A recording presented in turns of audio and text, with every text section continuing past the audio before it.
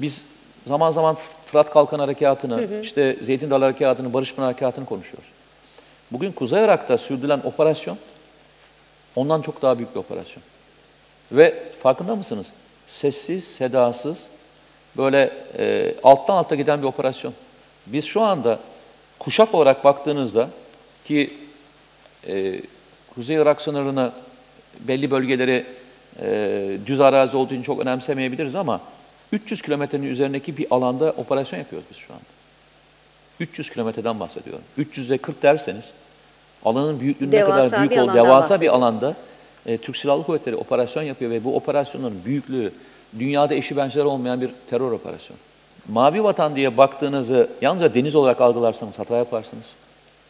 Karadan baktığınızda da karaya baktığınızda yanlış anlarsınız. Bugün Kuzey Irak'taki yapılan bu temizlik Mavi Vatan'ın çok daha önemli bir noktaya getirecek. Mavi Vatan'da tutunduğunuz için de Mavi Vatan'da geri adım atmadığınız için de bu tarafta çok daha rahat bir şekilde operasyon icra etme şansına sahipsiniz. Diyeceksiniz ki PKK ile Mavi Vatan evet. Çünkü PKK'ya ayırdığınız kaynakları şu anda artık ayırmıyorsunuz. Oradan ayırmadığınız kaynaklarını bu sefer deniz kuvvetlerine ayırabiliyorsunuz. Geçmişten beri Türkiye'nin birinci önceliği kara unsurlarıydı. Yani PKK ile uğraşılan miktarlara biz çoğunlukla e, kaynak aktarırdık.